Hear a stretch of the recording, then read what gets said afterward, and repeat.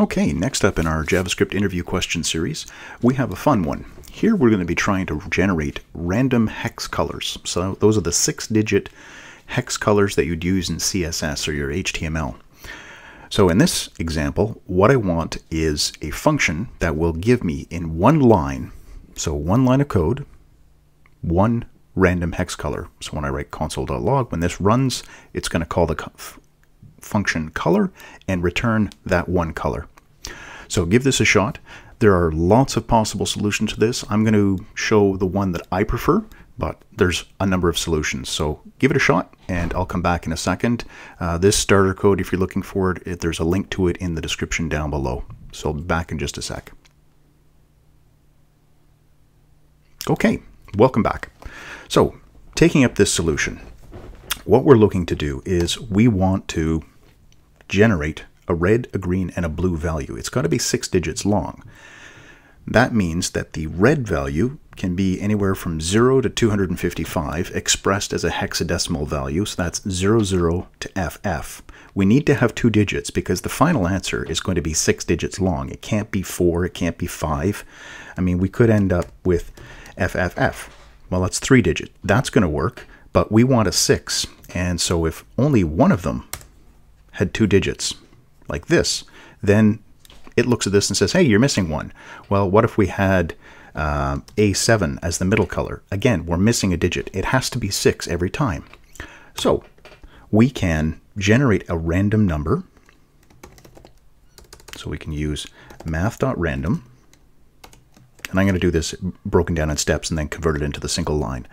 This is going to give me a value between 0 and 1. So 0 something, like 15 digits long. I'm going to take that number. So let's put this into a variable. We'll say let c equal that. We'll write it out. Then we're going to take that number and convert it into hexadecimal. So just this big long decimal number.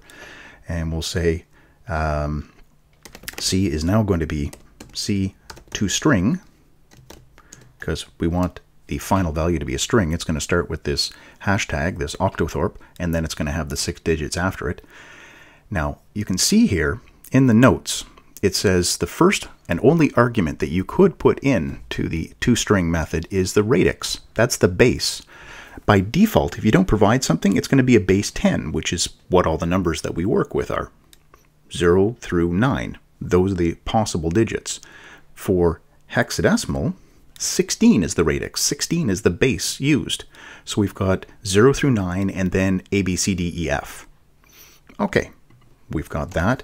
And we can console log that. Write it out again. So let's take a look at that and see what we get. I'll open up my console here and we'll run this one.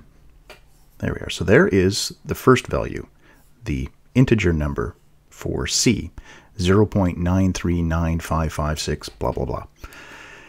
The next one, this is writing out 0.F086CB. So you can see that this is a hexadecimal value.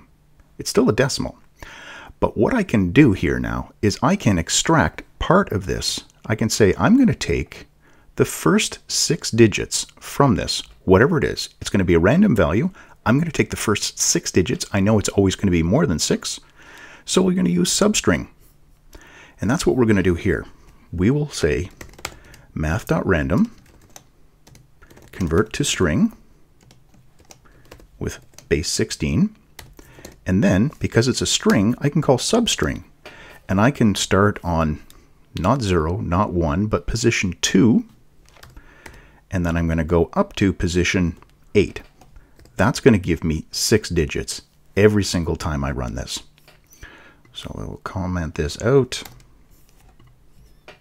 Save it. Oh, sorry, we need the plus sign here to concatenate this. You could use string concat if you want, but that's easy enough. Run this again, and there we are. There is my random hex value. And every time I run this, I'm going to get something that is completely unique. And that's it. Like I said at the beginning, this is not the only solution to this, but this is the one that I prefer. This is the one I find simplest and easiest to explain and use, and easiest to remember. So if you have any questions, please feel free to leave those in the comments. And if anybody else wants to post a possible solution to this, feel free to do that in the comments as well. Share that with other people. Um, and as always, thanks for watching.